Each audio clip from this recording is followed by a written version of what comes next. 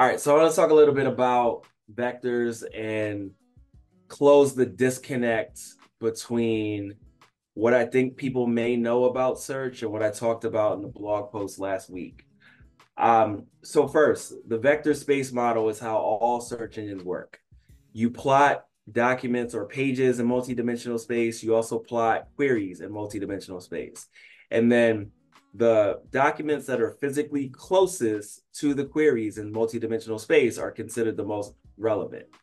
And in Google's environment, they actually treat the vectors for the queries different from the vectors for the documents. And I talk about this a little bit when I talk about uh, their embedding models for Vertex AI. And so this is important because this is fundamentally how search engines have worked you know, going back to like the 60s and 70s, right? And so back in the day, prior to the advent of more semantic retrieval models, um, most search engines worked on the TF-IDF uh, concept. So standing for term frequency, inverse document frequency. And that also works on what's called the bag of words representation model. And so what you're seeing here is basically a vector representing all of these different sentences. Each of these sentences could be considered a different document, right? And so what you do is you drop all what are called the stop words. So words like of, to, the, and so on. And then you limit it to the other words uh, that represent that document. And so when you do that, you then count the number of incidents of those words in each page. And so in this example, if the keyword is related to like cat, well, that first document would be considered the most relevant because it's used that keyword the most. And there's other components to this as well, where you know you also want to make sure that they uh, keywords that are you know not mentioned a lot that are more valuable get a, a, more of a weight and so on so it's not as simple as i'm making it out to be but the idea here is that you're counting the presence of words. And this is fundamentally one of the lexical concepts for search, right? And so when you do relevance, when you calculate relevance, it's really cosine similarity of angles between the vectors. And so where the cosine uh, angle is close to one, that means it's similar or highly relevant. If it's uh, close to zero, that means it's orthogonal or not related. If it's negative one or close to it, that means it's opposite. So when we are using in our tool OrbitWise, it's basically a function of that value. Now, Google went away from lexical to semantic, not entirely. They still use both, but semantic has been layered on since like 2013 uh, with Hummingbird. And so the main difference here is that lexical is like, are the words on the page? Cool, make it rank for those keywords. But semantic is is the concept represented on this page? Is this meaning on this page? And the words don't necessarily have to be there. So there is a breakthrough called Word2Vec or Word2Vector, which was led by uh, Tomas Mikolov and Jeff Dean at, at Google, where they were basically able to use neural networks to generate these word vectors. And so the idea here is that you're capturing these representations in multidimensional space in a higher fidelity way. So it's not just the presence of these words, it's the relationship of these words on the page. And so that gave us these like um it's called like an array of floats or a series of decimal numbers that represents these ideas and then that allows us to do uh, a different type of mathematical operation to understand the difference or the relationships between concepts in documents. So it allows us to do things like this. In this example, this is like the famous example. If you take the vector for the word king, subtract the vector for the word man, add the vector for the word woman, the closest match is the vector for the word queen. And so now you can effectively take concepts or meaning and subtract parts of it to then understand other meaning. And so if I have two pages, I can vectorize them, subtract one from the other, and then see what the, the semantic difference is, plot that in multidimensional space, and then see what are the closest concepts to that. So if we apply that to the optimization of pages, well, it's then that we're just not saying like, okay, what keywords are missing? We can say what concepts are missing based on that understanding. So again, what we're talking about here is this idea of words being converted into coordinates. So in this example, how old are you? That turns into a series of coordinates that look like this. And then you can do this semantic similarity between them to determine how related they are. So the difference between a TF-IDF and, you know, Word2Vec or anything that followed it is that TF-IDF is considered a series of sparse embeddings. So not a lot of information is captured or represented or encoded here, whereas the dense embeddings allow us to understand things in a more granular way. And so Word2Vec gave us Hummingbird. That was the dramatic change in understanding that we that Google had that allowed them to better understand like what a page was about, even if uh, certain keywords weren't represented. And so since then, um, you know, Google has basically been creating these embeddings, these vector embeddings that kind of live on top of the index um, so that they could do this sort of analysis, not just with your queries, but also with the documents. And so what changed everything was the advent of something called the transformer.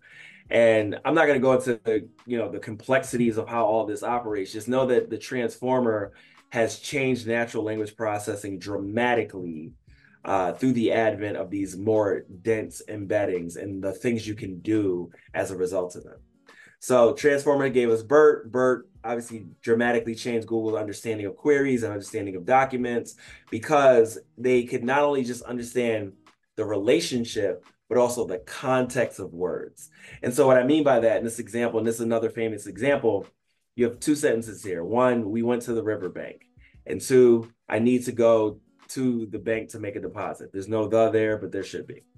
And so with Word2Vec, they didn't understand the difference between bank in both of those sentences. But now with BERT, they can. So they understand that bank means, you know, a place that you go that has money versus a riverbank, which is like a place, you know, where you go to water. And so their ability to represent the the documents in a more granular way with that context has changed their ability to understand that meaning and then surface those results to you. So now Google looks a lot more like this. Well, with with SGE or AI overviews, it's got a whole nother layer on top of it. But you know, with um, BERT, they added this layer of again, just like further entrenching this idea of the language model and, and the vector embeddings within the indexing process. So they've been doing this hybrid uh, semantic and lexical search for a while now. They've been public about it since 2020, but they've been doing it for some time. And in this paper, they talk about here's how you would do it with open source stuff, including BERT, including uh, BM25, which is like the best version of TF-IDF for simplicity. Um, and they also talk about like how they fuse them together. So that idea basically looks like this. They're pulling things from our standard index, the inverted index, which we all know and love from SEO. You get a result set, and then you do the same thing on the semantic side based on the vector embeddings, and you get another result set, and then you merge them together, and then you re-rank them based on a variety of different factors. And so this is why I'm saying that there's been such a gap in the SEO space because we don't have anything historically to understand what's going on on that semantic side. And a lot of times we'll see results and we're like, we don't understand why this is ranking because our mental model of it is like, well, the keywords in the page title, the keywords in the H1, the keyword is distributed through the copy, the pages are linked to with the keyword in the anchor text. And you don't necessarily have to have those things in order to be in the result set for the semantic side of it. So this is how Google is working across everything, right? Like it's not just for text, it's working this way for images, for videos, audio, and so on. And again, all the the advancements that we're seeing at I/O are only making all this stuff better. Um, but when we talk about this concept of BERT and dense retrieval, dense retrieval is really you know them leveraging these very detailed embeddings that again continue to get better to score down to the sentence or paragraph level So it's their ability to really understand components of the content as well as the overarching context of the content. And so you see this played out in uh, featured snippets. You see it playing out at a, a different scale with the AI overview, but it also is how they are identifying the specific section in the content. So in the featured snippet, they're showing you like it's this sentence here, and then they use the whole scroll to text thing to uh, highlight it as well. And so Google can do this across a variety of things, right? Like it's not just from a words perspective, it's not just from an image perspective, it's also from like an entity perspective. They've got representations of websites. It's how they really understand your content on a deep level. So website representations, they've also got author representations. So when we talk about EAT, it's really leveraging all these embeddings in these variety of different aspects and then using that to determine how things are related.